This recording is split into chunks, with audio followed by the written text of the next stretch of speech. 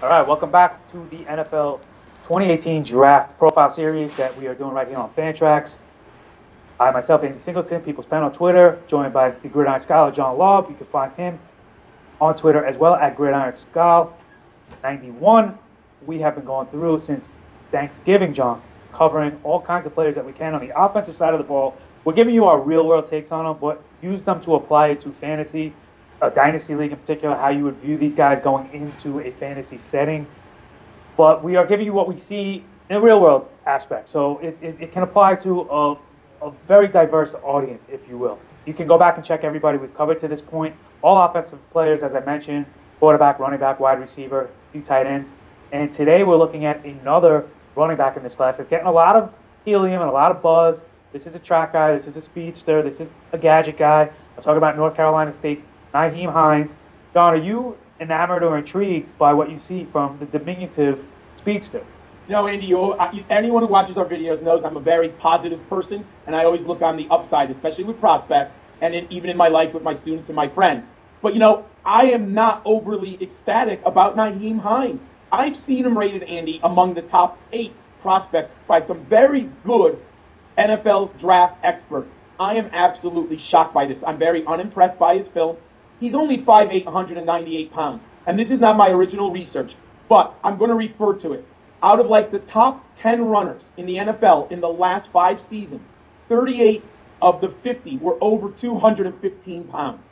215 pounds seems to be a very important benchmark to the weight of a successful NFL running back. Obviously, there's Darren Sproles and James Whites. But when you have a player who's under a 200 pounds, it very much concerns me. I've also watched a lot of his film.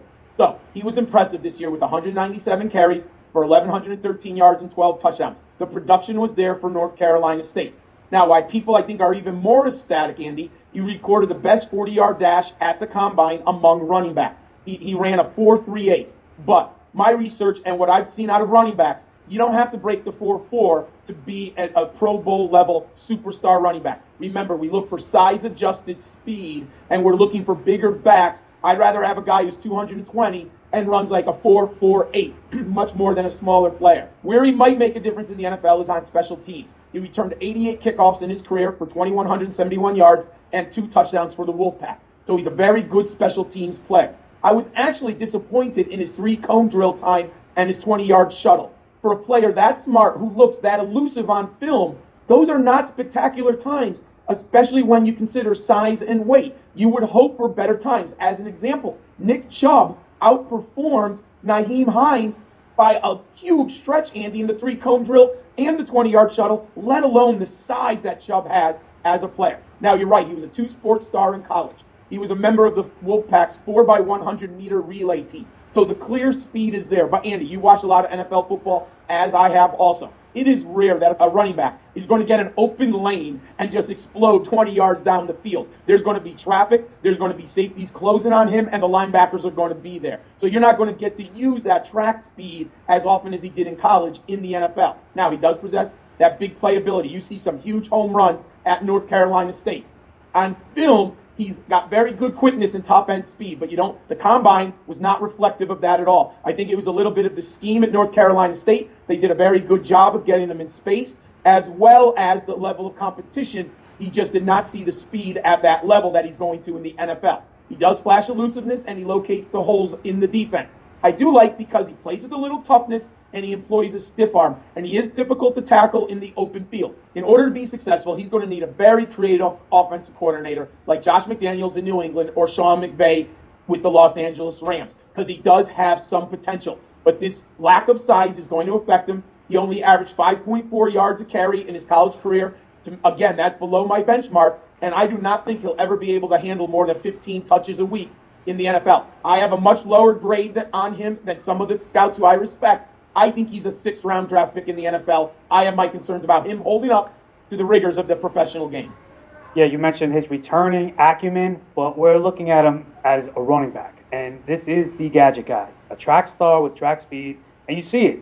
But can he get to it is the question. I hear a lot of people say he's too small to be an NFL running back at 5'8, 200 pounds. And then when you consider that's exactly how big Maurice Jones Drew was, you know it can be done. But that's when you also remember how special MJD was, and that's when you see running styles and body types that vary. Jones Drew was listed at 205, while Hines measured 197 at the combine. But those eight pounds were held very differently.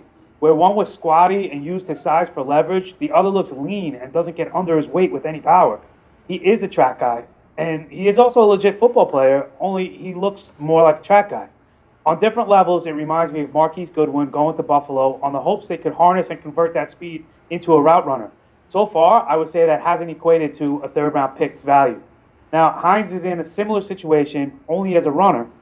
He's going to have to show some of that power, which I just don't see. Now, there is a role for that speed in an offense, but as John was saying, it's going to take a special coach and or coordinator to utilize it. I like Hines, but as I said to start this, he is the gadget guy of this class. And that is not something I would invest in personally. But are you the high guy on Hines? Let us know in the comments below. Tell us how you're viewing Nyheim Hines in this draft class in comparison to the other running backs.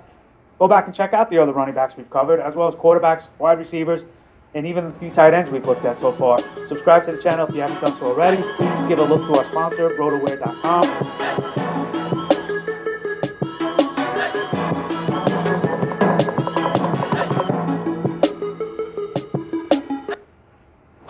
Al Haig. The spring sales event is now on at Haig Chrysler Dodge Ram. It's time to get a slam